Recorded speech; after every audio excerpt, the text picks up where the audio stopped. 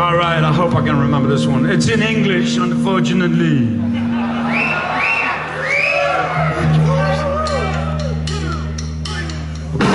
No.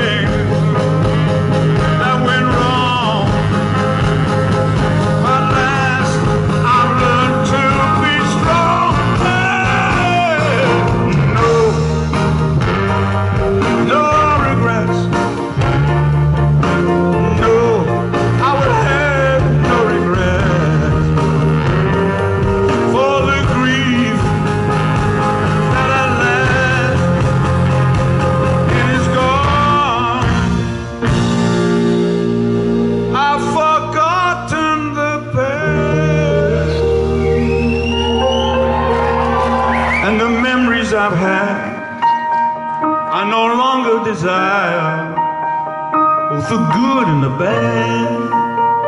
I have thrown in the fire, and I feel in my heart that a seed has been sown.